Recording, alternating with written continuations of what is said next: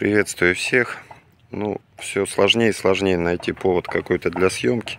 Всякую ерунду снимать не хочется, а, а, а не ерунде, а насущном, скажем так, вроде бы практически уже все рассказал.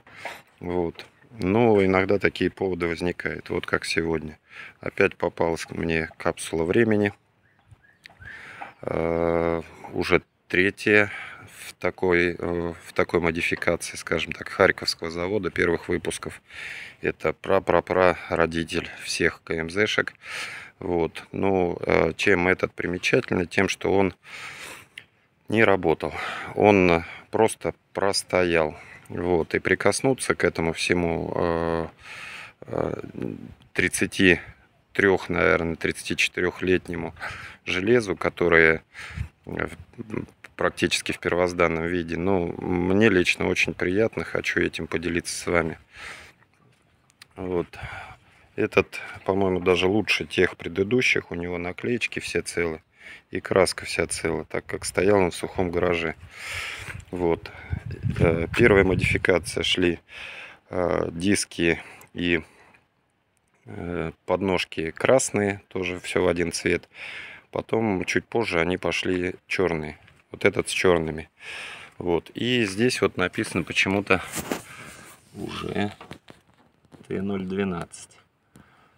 Хотя явных признаков Т012, таких как там э, руч... ножной газ и так далее, что-то пока не, не видно.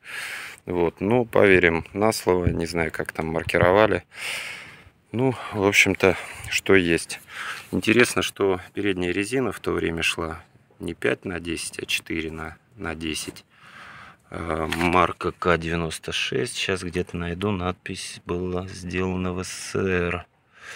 Ну, тут не буду затягивать время съемки.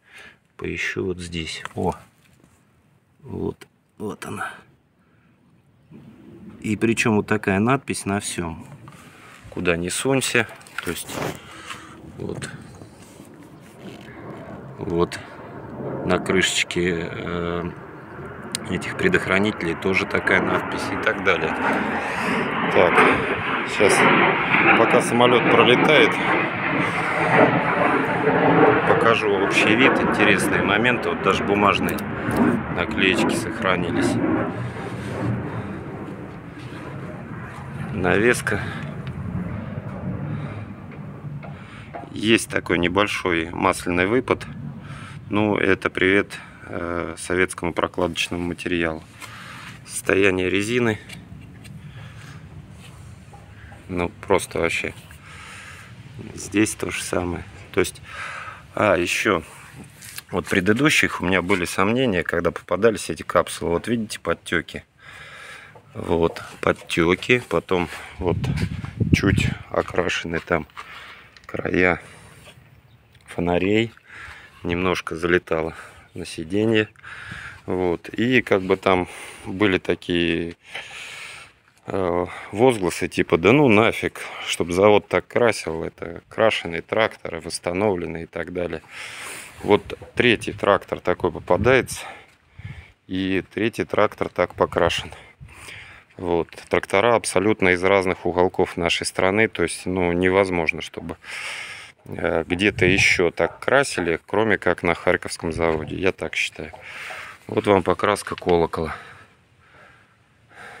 вместе с куском двигателя. Вот то же самое. Опора двигателя подкрашена, скажем так. Вон колпачок вроде бы желтенький, но с красным напылением. Глушитель серебристый но вот это вот, по-моему, действительно дедушка, может быть, подкрашивал. А может быть и нет. Скорее всего, да. Вот. А вот это вот серебрянка родная. На этом самом. Вот. Подкапотное пространство. Руль. Тут вот немножко видно мышики поели.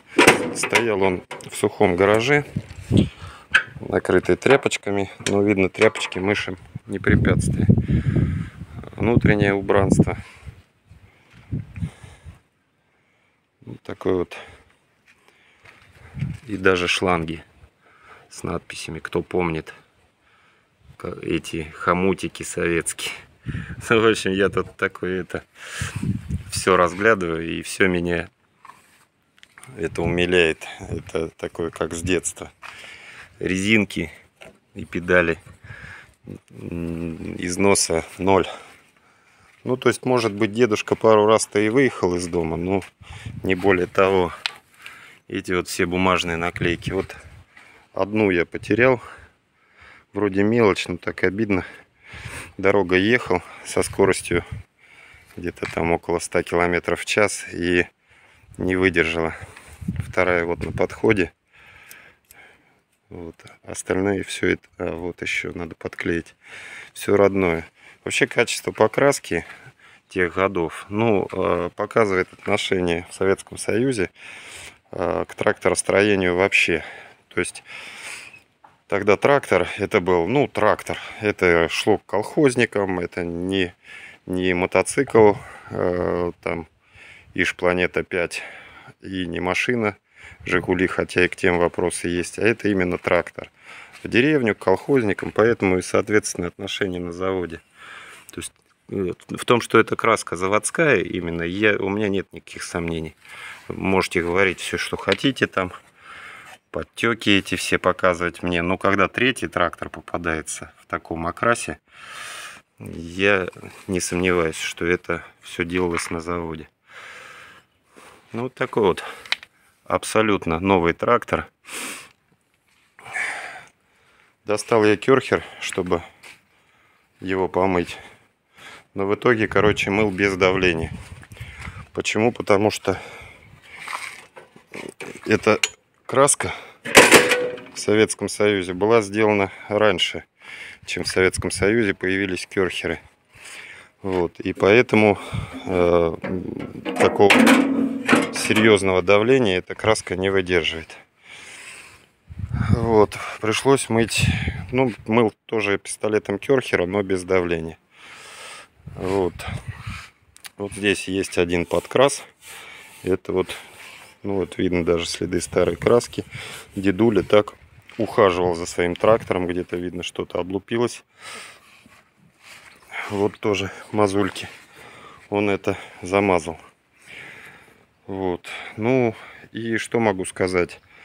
Вот в отличие от прошлых тракторов, прошлые были без грамма смазки. То есть видно, что вот, э, ну, внутри масло есть, конечно, но шприцевать их никто не шприцевал. Этот трактор дедушка полностью обслужил от груза.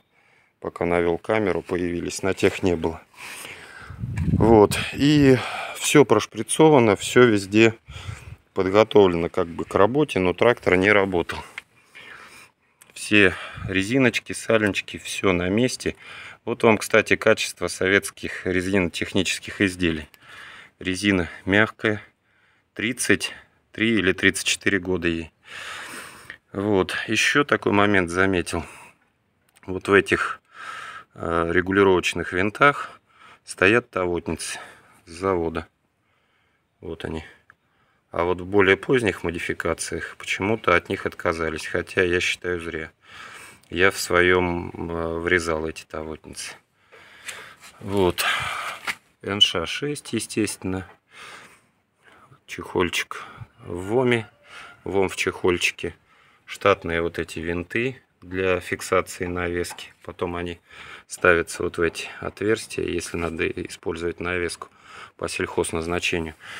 Ну и вот почему, наверное, он Т012, потому что появилась вот эта трубка. На Т010 их не было, тоже этих труб, трубки на переднюю навеску не было. То есть передняя навеска не планировалась вообще, я так понимаю. Здесь тоже покрашено все вместе с проводами, вместе с хомутами. Ну, то есть вот обливали из ведра на заводе на заводе. Я вот э, я уверен, что это на заводе. Вот. Что-то еще хотел показать по нему. Ну, тоже состояние педалек оценить. Не стиралось ногами человека. Вот, то есть... А, и вот этот особенно мне понравился значок. Вот, видел как-то один раз. И то он уже отлетевший был. Вот. Да вроде все. Если что-то забыл. Трактор. Ну, хотелось бы, конечно, куда-нибудь его продать коллекционеру. Или в музей в какой-нибудь. Ну, э, не знаю. Э, в общем-то, э, куда попадет? Может быть, кто-то начнет им работать, но если начнет работать, то э, я думаю, что будет получать удовольствие хотя бы от того, что он новый снаружи, новый внутри, что он не эксплуатировался, что все шестерни там в первозданном виде. Вот, ну, по крайней мере, вот есть люди, которые любят техника, чтобы была новая, а не БУ. Любят, когда там машину покупает с салона. Хоть какую-нибудь, хоть плохенькую, но из салона. Вот, вот, наверное, эта техника для них. Ну, или вот куда-нибудь в музей, на выставку. Вот. А я, как обычно, рад прикоснуться к этому всему железу. Пощупать, поглядеть.